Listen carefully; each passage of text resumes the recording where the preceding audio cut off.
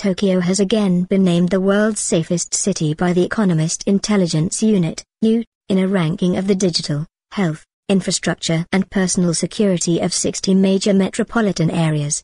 Singapore came in second, followed by Osaka which is again a Japanese city, in third place in the Safe Cities Index 2019.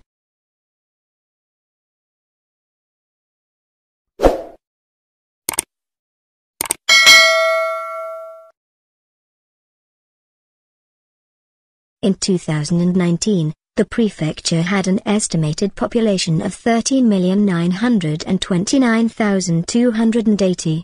The Greater Tokyo area is the most populous metropolitan area in the world, with more than 37.393 million residents as of 2020.